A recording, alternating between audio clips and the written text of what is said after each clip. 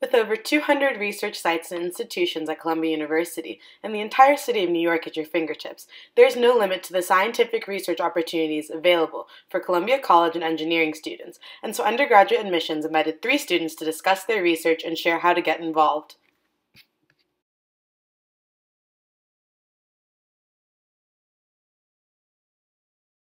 Yeah, uh, so I uh, work in two labs in the physics department, uh, both doing condensed matter experiment. Uh, one is the Basov group and the other is the Pasupathy group. Um, and in both labs, I'm sort of looking at uh, how uniaxial strain affects correlate various correlated materials. In one group, we study sort of the electronic properties uh, kind of very physically with scanning tunneling microscopes and transport. and the other, we use nano optics. So I'm really interested in the intersection between people and science and I was interested in doing work on green infrastructure and urban design and how that impacts water quality. So I spent the summer in Brooklyn um, in a lab and in a greenhouse measuring different forms of green infrastructure and how they impact and uh, clean water. So um, over the summer I did a project at the Harvard Smithsonian Center for Astrophysics and I was doing a lot of research in uh, supernova remnants. So I was basically like doing simulations and modeling how a supernova would like evolve over time. And then this year I'm getting started on a particle astrophysics project at Columbia.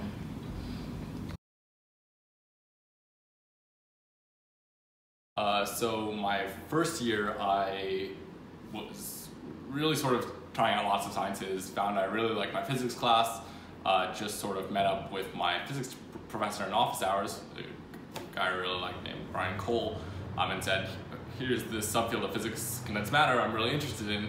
How could I sort of best get involved sort of outside of class? And he uh, said, all right, so here's three professors doing really great work. You should just shoot them an email and uh, we'll kind of help you sort of get started. And I, I remember that was my first year uh, in the wintertime, and by sort of the end of the week, I had already started in Abhay's, uh, Abhay Pasupathy's lab, and I've sort of been working there ever since. So.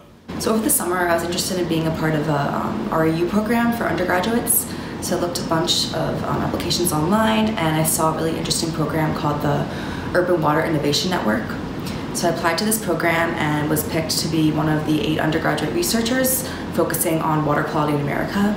I was specifically um, placed in the Brooklyn site.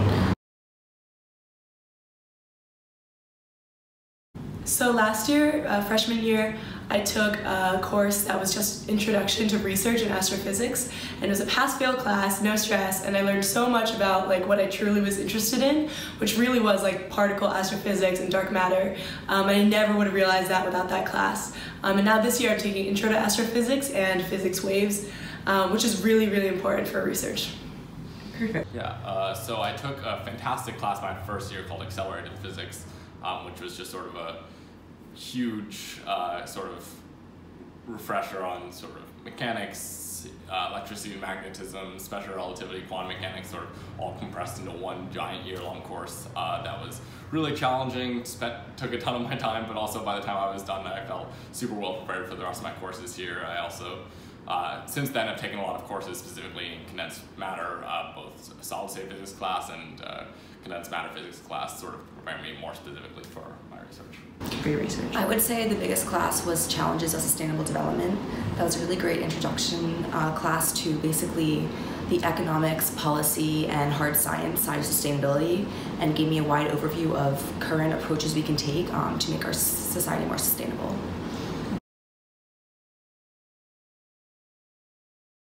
So the most useful one by far has been Blueshift, which is the undergraduate astronomy club on campus. And through there, I met so many other astrophysics majors in school and even non-astro majors who all like done research. Um, we compile places to do research for each other. We give talks on how to find research at Columbia, connect each other with teachers, um, anyone. It's really, really helpful. Um, probably most useful resource I've had here.